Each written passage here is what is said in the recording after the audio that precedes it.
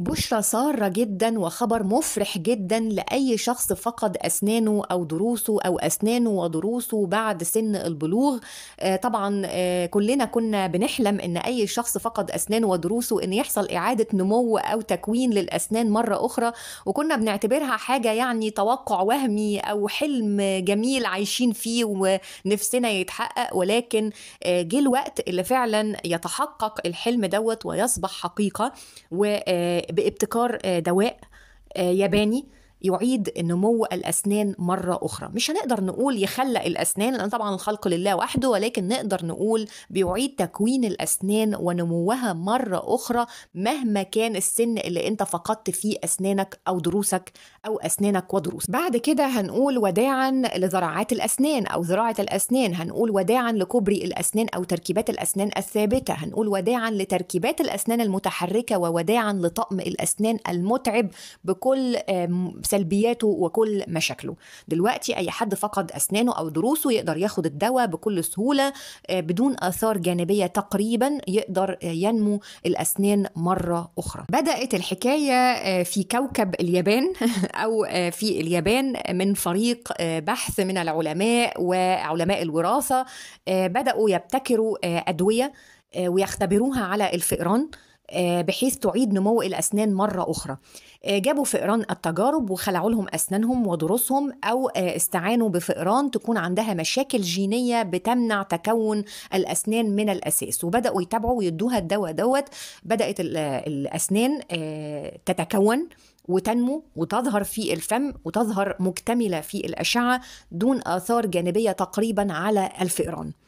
الحقيقة إن ده بالنسبة لهم كانت نتائج مبهرة نتائج مبشرة جدا جدا إن هم يبتدوا يطبقوها أو يختبروها على البشر وبدأوا حاليا بتطبيقها على الأطفال. الأطفال دول بيبقى عندهم مشاكل جينية بتمنع تكوين ونمو الأسنان فبدأوا التجارب عليهم وبرضه متوقعين نتائج مبهرة مبشرة بالنسبة للبشر أو الأطفال اللي بدأوا عليهم التجارب. علشان كده بدأوا يتكلموا على الدواء على أساس إن النتائج إن شاء الله هتكون برضو مبهرة ومبشرة. طيب الدواء ده بيشتغل إزاي وإزاي بيعيد نمو الأسنان مرة أخرى أو تكوين الأسنان مرة أخرى وإمتى هيتم طرحه في الأسواق ويكون متاح لينا كلنا؟ علشان نفهم الميكانيزم أو الدواء ده بيشتغل إزاي طبعا الطفل الصغير بيطلع له الأسنان اللبنية وبعد كده بتقع وبيبتدي يظهر الأسنان الدائمة.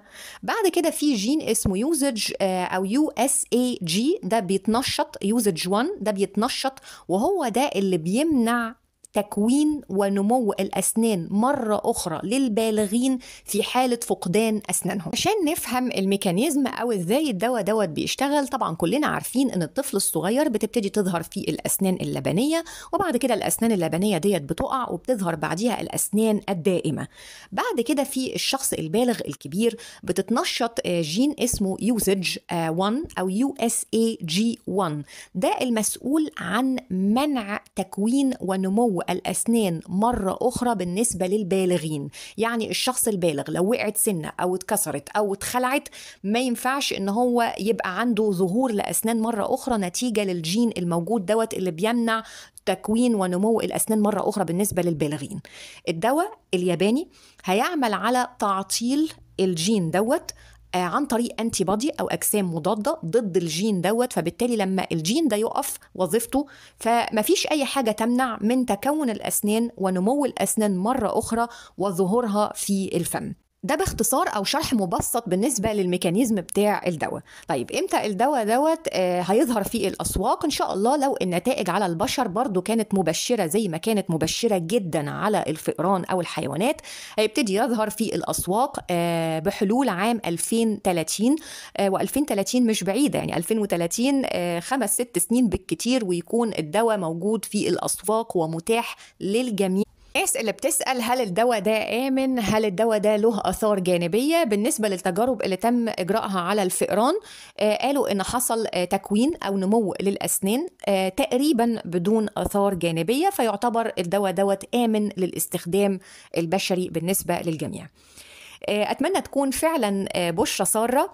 آه، كنا بنحلم الحلم ده من سنين طويلة وكنا عايشين في وهم ولكن الحلم آه، وحقيقة آه، ليست ببعيدة ولكن قريبة جدا بعام 2030 إن شاء الله الدواء دوت يبقى متاح للجميع وفي متناول الجميع. أتمنى أكون فرحتكم أتمنى أكون بشرتكم بشرة خير. أي سؤال أو استشارة طبية بستقبلها